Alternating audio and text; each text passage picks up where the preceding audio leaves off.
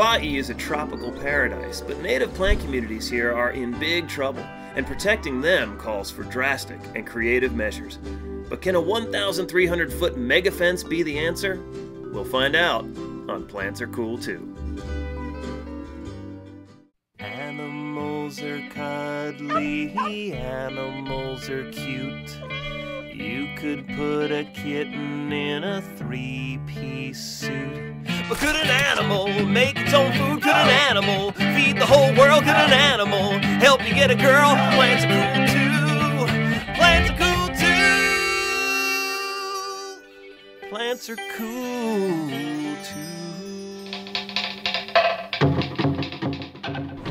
It's Dr. Chris Martine. Welcome to a special edition of Plants Are Cool Too. We're in Hawaii on the island of Oahu where I just spent a great day with Dr. Marian Chau, who's a botanist at the Lyon Arboretum through the University of Hawaii. Recently got her PhD in the University of Hawaii at Manoa, which is also where Kim Shay is currently enrolled as a master's student. We're having some really delicious Hawaiian coffee after a wonderful day on Kaena Point. Halfway across the Pacific on our way to Australia, my family and I took a long layover on Oahu. My wife Rachel and I, with our kids Izzy and Jackson, had only about 36 hours to work with, so we made for the North Shore with Marian and Kim and started on the three mile hike that would lead us to one of the most impressive conservation projects on Earth.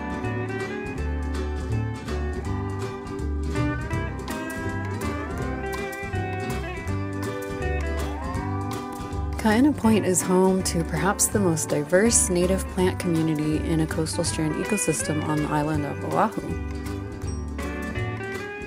Kaena Point is an important coastal habitat which, despite threats from invasive species, still supports a pretty strong community of native plants and animals. My name is Marian Chau. I've been a botanist in Hawaii for nine years and done a little fieldwork out there and visited many other times as well.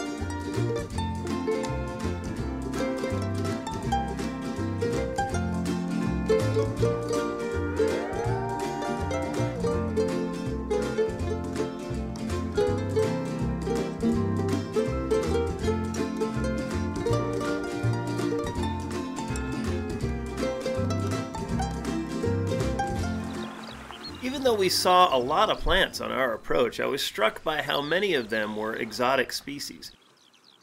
In fact, only a handful of the things we encountered were native to Hawaii.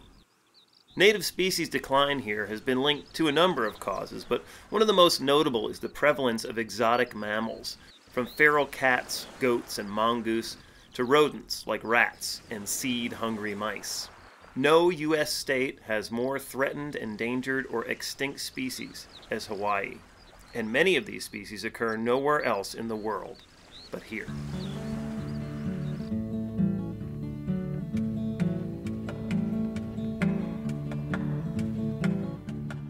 The coastal plant life in Kaena Point is considered to be one of Hawaii's most pristine examples of native coastal vegetation. Aloha! My name is Kimberly Shay. I'm a master's student in the botany department of the University of Hawaii at Manoa. The mission of Kaena Point Ecosystem Restoration Project was to construct a predator proof fence to remove and prevent feral predators from entering into the coastal habitat within Kaena Point. These predators kill seabird chicks and threaten endangered and native plant reproduction due to seed predation. This project also prevents vehicular traffic and development from harming native plants and animals.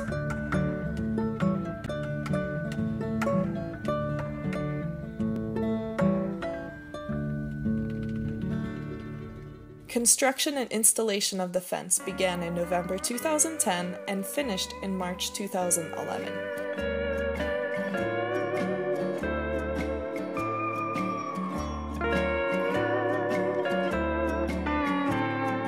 Due to the fence's design, which includes a rolled hood, wire mesh, and a mesh skirt and cement base into the ground, it prevents predators from climbing over, moving through, or burrowing under the fence.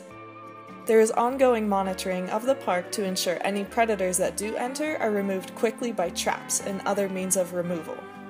Rodent traps along both sides of the fence add an extra layer of protection. There are three gates for people to access into Kaena Point. Each gate has boot brushes to remove seeds of non native plant species from entering into the reserve, and double doors to ensure the exclosure of predators.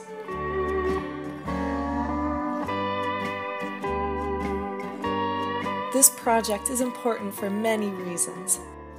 This is the first case of a predator proof fence as a management tool for restoration in the United States. The Kaena Point Restoration Project helps to preserve and restore an ecosystem that is home to not only this diverse plant community, but also some of our native seabird species, like Laysan albatross and wedge tailed shearwaters, along with our endangered Hawaiian monk seal. All of these native species are vulnerable to the predators that the fence now excludes. The whole project was very carefully designed using scientific experimental methods with long term monitoring included in the plans.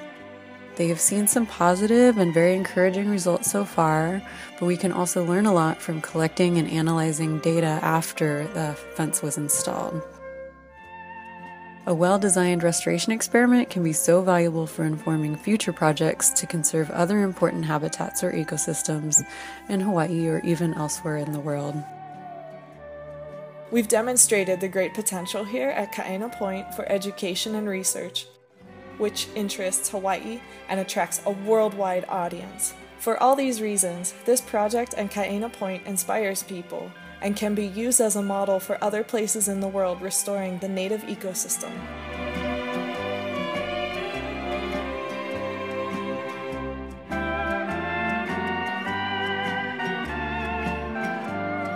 Mahalo.